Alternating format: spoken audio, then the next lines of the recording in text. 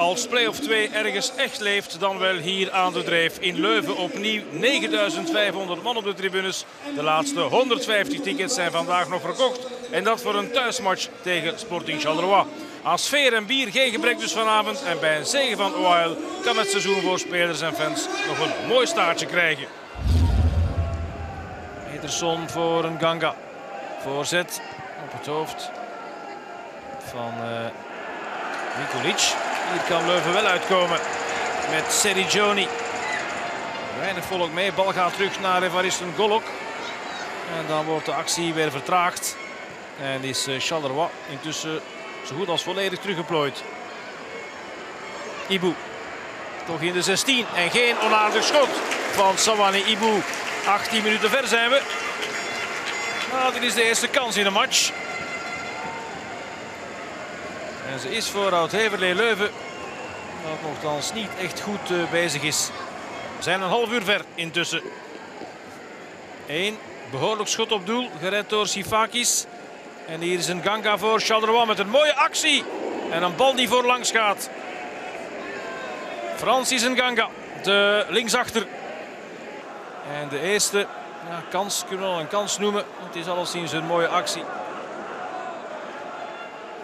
Gislason. Chuka, een goal ook. Dat is een goede bal voor Sergioni. Sergioni kapt daar eh, de Soleil uit. Dan de bal voor Chuka. En die levert een bijzonder zwak en slecht schot af. Waardoor de bal meters naast gaat.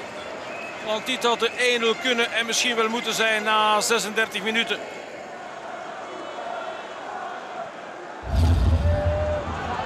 Twee wissels op korte tijd nog wel voor eh, Leuven. Thompson voor Weuts. En dan meteen na vijf minuten ook al Ruitings voor Chuka.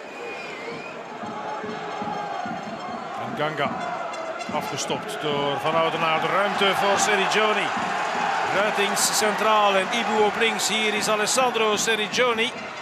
Ruitings. Valt daar over het been van uh, Diandi. En De La Cour fluit strafschop.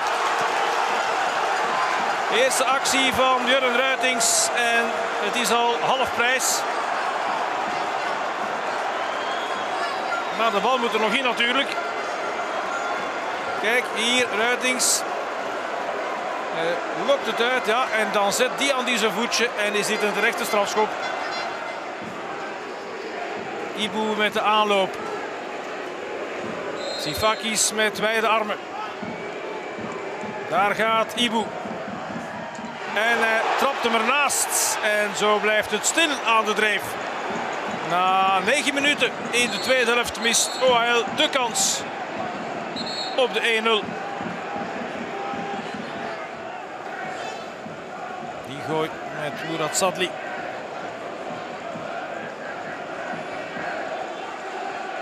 François, daar is hij weer weg. Het schot en de parade van Bailly. Dit was een eh, goede mogelijkheid. Afgeweken. Eerst op de verdediger, dan op Bailly in hoekschop. Laatste 10 seconden tikken intussen weg. De spionkop zet zich nog eens krap. En Oud-Heverlee Leuven maakt zich klaar voor een vrije trap. Met Ibu en Gislason achter de bal. Het is Ibu en wie valt er voor doel? Sifakis die hem eh, wegbokst in hoekschop. Leuven drong nog aan, maar het scoorde niet meer. Dat deed ook Sporting Charleroi niet. En zo eindigt deze wedstrijd logisch op 0-0.